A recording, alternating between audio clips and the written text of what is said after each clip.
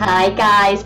Hi, you guys, it's Jimmy Neutron. Yeah, I know that. Draculaura from Monster High. She's from Transylvania and she's 1600 years old. Just like And- my dog. Just like yours. Uh, a bunch of the characters I've done, you probably recognize some of them. I see Wednesday from the Addams Family. I'm gonna go watch. I mean, I have a bunch of animated shows I want to watch. And there's uh, the senior witch from um, Sailor Moon. Nope, that's I mean, from witch. Kiki. Kiki's Delivery Service, Yes, sorry. that's what I was about to tell you about. I keep doing cartoon voices every day. That's why I'm a working actor because I'm constantly working, not starring. I'm not a celebrity. I just do what I do.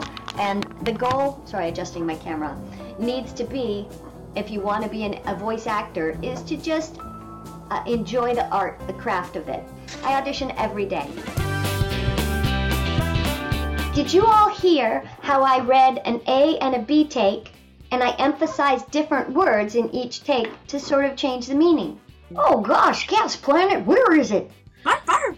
You guys can see my Jimmy Neutron uh, doll behind me there, and Yeah, I Yes. can see it. The numbers of the, this cell phone are just too small for me to read. Good.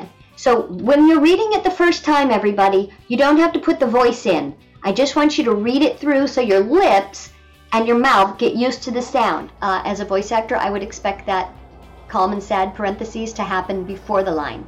He's full of hate due to his old mate ditching him. I just wanted to show him kindness. You can either do this one, which is Xena, or um, Nyan. Hey, you're supposed to be my friend, not his. Good character uh, development there. Thank, Thank you, Debi. Thank you. And Thank an honor. you. Thank you for teaching us voice acting over the years. Thank you. Got him lost.